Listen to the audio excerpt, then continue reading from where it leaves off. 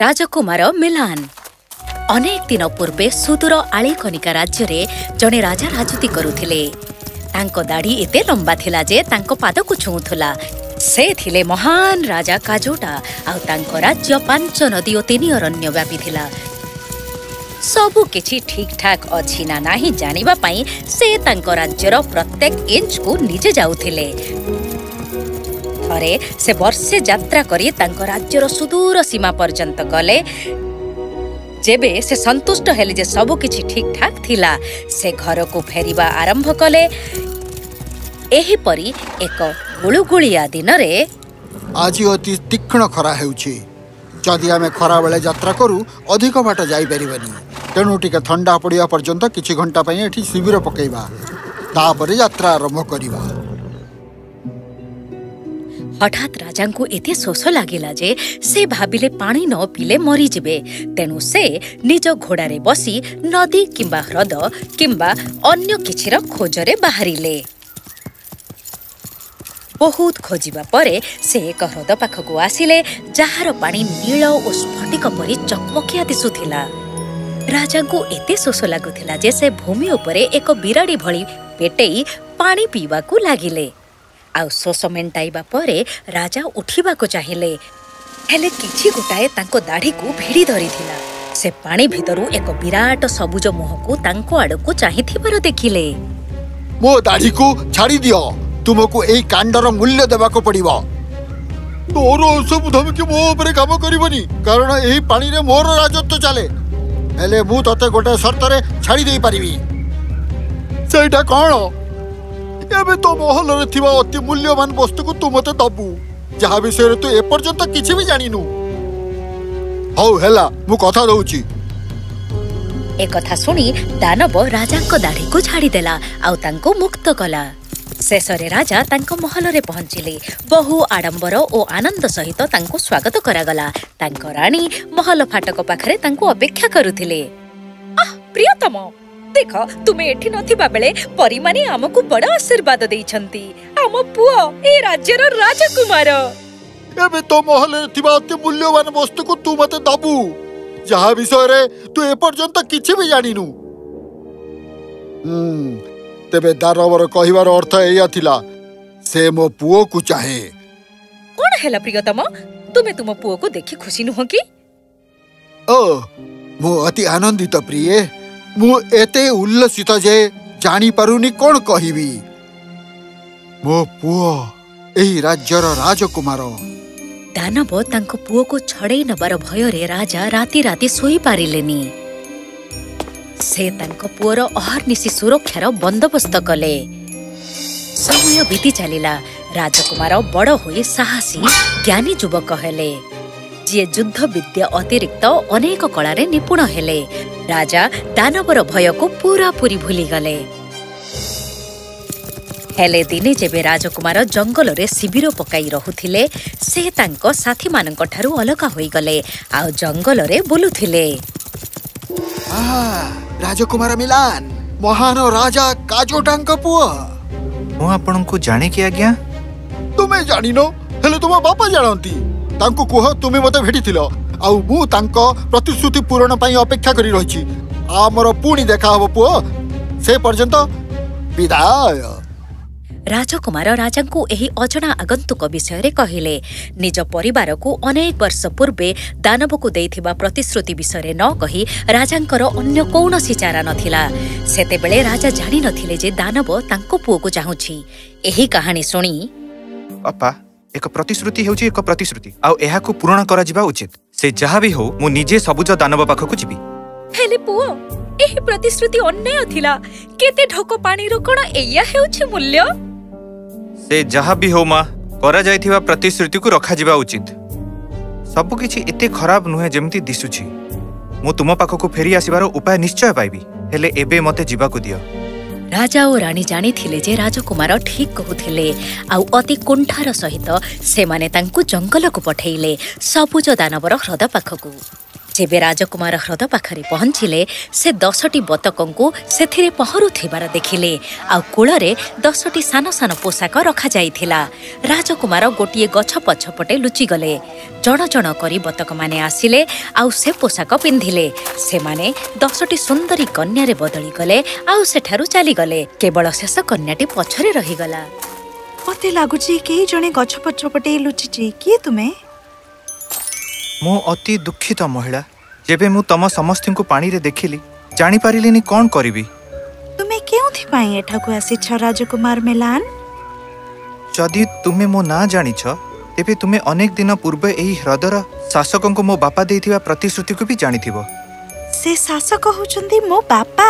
ମୁଁ ରାଜକୁମାରୀ ହେ ସିନ୍ଥିଆ ତାଙ୍କର ସବୁଠୁ ସାନ ଝିଅ। ହେଲେ ମୁଁ ବିଶ୍ୱାସ କରେ ଯେ କେତେ ଢୋକ ପାଣି ପାଇଁ ଏହି ମୂଲ୍ୟ ଅତ୍ୟଧିକ ଥିଲା କିନ୍ତୁ ମୋ ସହିତ ଆସ ମୁଁ ତୁମକୁ ମୋ ବାପାଙ୍କ ପାଖକୁ ନେଇଯିବି ରାଜକୁମାରୀ ହେ ସିନ୍ଥିଆ ନିଜ ପାଦରେ ତିନିଥର ଭୂମିକୁ ଥପ୍ ଥପ୍ କଲେ ଆଉ ରାଜକୁମାର ଓ ରାଜକୁମାରୀ ନିଜକୁ ଏକ ଭବ୍ୟ ମହଲରେ ପାଇଲେ ସବୁଜ ଦାନବର ସମ୍ମୁଖରେ ଓ ଦେଖୁଛି ଶେଷରେ ତୁମେ ଆସିଛ ରାଜକୁମାର ମିଲାନ ହଁ ମହାମହିମ ଅନେକ ଦିନ ପୂର୍ବେ ମୋ ବାପା ଆପଣଙ୍କୁ ଯେଉଁ ପ୍ରତିଶ୍ରୁତି ଦେଇଥିଲେ ତାକୁ ପୂରଣ କରିବାକୁ ମୁଁ ଆସିଛି ଶେଷରେ ଠିକ ଅଛି ଆଜି ରାତିରେ ତୁମେ ବିଶ୍ରାମ ନେଇପାର ହେଲେ କାଲି ତୁମେ ମୋତେ ଶହେ କୋଠରୀ ଥିବା ଏକ ସୁନା ମହଲ ଆଉ ହଜାରେ ଫୁଲ ଥିବା ଏକ ବଗିଚା ତିଆରି କରିଦବ ଯଦି ନ କର ତୁମ ମୁଣ୍ଡ ତୁମ କାନ୍ଧରୁ ଖସି ପଡିବ ହି ହି ହି ହି। ସେଥି ନିମନ୍ତେ କାଲି ପର୍ଯ୍ୟନ୍ତ କାହିଁକି ଅପେକ୍ଷା କରିବା ମହାମହିମ? ଏହି କାମଟା ମୋ ପାଇଁ ଅସମ୍ଭବ। କାରଣ ମୁଁ ଏକ ମହଲ ତିଆରି କରିବା ଜାଣିନି। ସୁନା ମହଲ ଦୂରର କଥା। ତୁମ ପାଖରେ କାଲି ସାରା ଦିନ ପଡିଛି। ଉପାୟ ଖୋଜ। ରାଜକୁମାର ତାଙ୍କ କକ୍ଷରେ ବସି କ'ଣ କରିବେ ବୋଲି ଭାବୁଥିଲେ? ଏଭଳିଆ କାମ କେବଳ ଯାଦୁ ଦ୍ୱାରା ସମ୍ପୂର୍ଣ୍ଣ କରିହେବ। କିମ୍ବା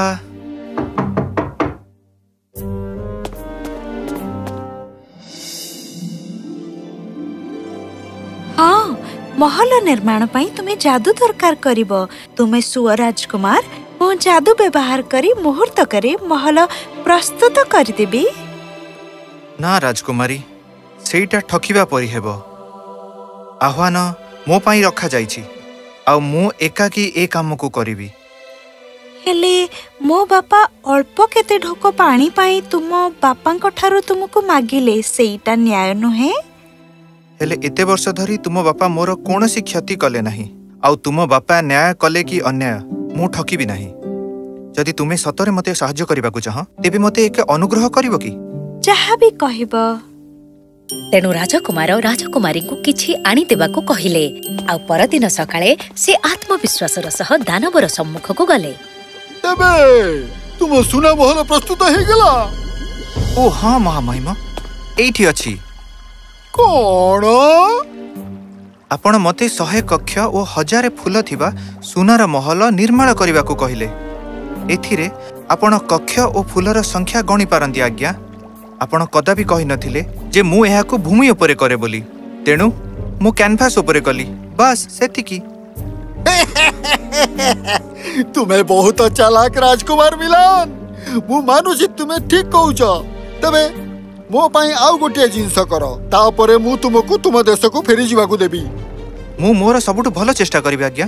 ଦେଖ ମୋ ହାତ ଭିତରେ ଗୋଟେ ହୀରା ଖଣ୍ଡ ଧରିଛି। ଯଦି ତୁମେ ତାକୁ କାଲି ସକାଳ ସୁଦ୍ଧା ନେଇଯାଇପାରିବ ତେବେ ଯିବା ପାଇଁ ମୁକ୍ତ ହେବ। ଯଦି ପାରିବନି ତୁମ ମୁଣ୍ଡ ତୁମ କାନ୍ଧରୁ ଖସି ପଡିବ। ସେହି ରାତିରେ ରାଜକୁମାର ମିଲାନ ପୁଣି ଥରେ ଭାବିଲେ କେମିତି ଦାନବ ହାତରୁ ହୀରା ଖଣ୍ଡଟା ବାହାର କରିନେବେ। ପୁଣି ଥରେ ତାଙ୍କ ଝରକା ଉପରେ ଠକ୍ ଠକ୍ ଶବ୍ଦ ହେଲା। ଆଜି ରାତିରେ କାମ ଶେଷ କରିବାକୁ ତୁମେ ନିଶ୍ଚିତ ରୂପେ ଯାଦୁ ଦରକାର କରିବ। ମତେ ଅନୁମତି ଦିଅ ମୁଁ ଏହି କ୍ଷଣି ତୁମ ପାଇଁ ହୀରାକୁ ନେଇ ଆସିବି। ନା ରାଜକୁମାରୀ କାରଣ ତାହା ଠକିବା ପରି ହେବ ତୁମକୁ ତୁମ ସାହାଯ୍ୟ ପାଇଁ ଧନ୍ୟବାଦ। ହେଲେ ମୋ ବାପା ଯାହା କରିବାକୁ କହୁଛନ୍ତି ତାହା ଅନ୍ୟାୟ। ଅନ୍ୟାୟ ହେଉ ପଛେ ହେଲେ ମୁଁ ଠକିବି ନାହିଁ।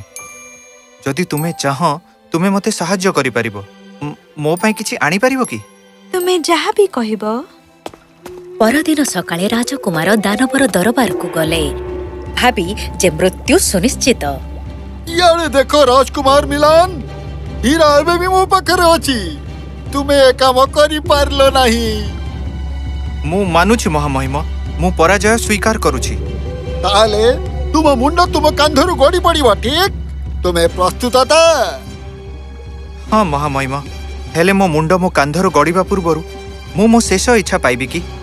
ଆପଣ ରାଜି ହେବେ ମହାରାଜ ଯେ ମୁଁ ସାଧୁ ଭାବେ ଖେଳ ଖେଳିଛି। ଭଲ କଥା ଠିକ ଅଛି। ମୁଁ ତୁମ ଇଚ୍ଛା ପୂରଣ କରିବି। ମୋ ହାତରେ ଥିବା ହୀରାକୁ ଛାଡ଼ି ତୁମେ କିଛି ବି ମାଗିପାରିବ ହି ହି ହି ହି ହି ହି। ମୁଁ ଇଚ୍ଛା କରେ ମୋ ମୁଣ୍ଡ ମୋ କାନ୍ଧରୁ ଗଡ଼ିବ। ହେଲେ ଏଇଠାରୁ ଆଉ ଏଇଠାରୁ ନୁହେଁ। ଯେହେତୁ ଏଇ କଣ୍ଢେଇ ମୋର ପ୍ରତିମୂର୍ତ୍ତି ଏହି ବେକ ଓ ମୁଣ୍ଡ ବି ମୋର। ଆଉ ଆପଣ ଖାଲି କହିଥିଲେ ଯେ ମୋ ମୁଣ୍ଡ ମୋ କାନ୍ଧରୁ ଗଡ଼ିବ। ଆପଣ କଦାପି କହିନାହାନ୍ତି ମୋତେ ମରିବାକୁ ପଡ଼ିବ ବୋଲି। ଚାଲାକ ତୁମେ ବହୁତ ଚାଲାକ ରାଜକୁମାର ମିଲାନ। ଭଲ କଥା ତୁମେ ତୁମ ପ୍ରତିଶ୍ରୁତି ରଖିଲ ଏବେ ମୁଁ ମୋ ପ୍ରତିଶ୍ରୁତି ରଖିବି।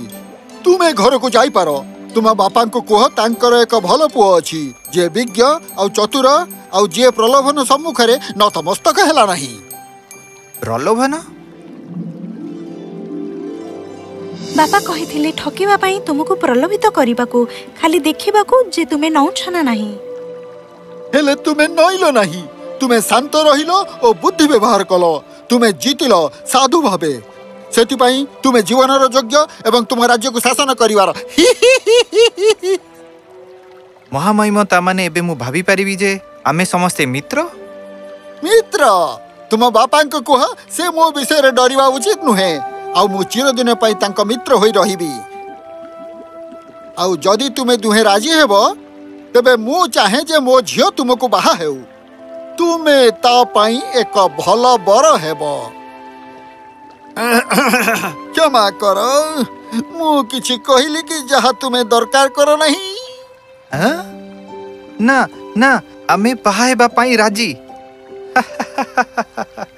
ତାପରେ ରାଜକୁମାର ତାଙ୍କ ରାଜ୍ୟକୁ ଫେରିଲେ।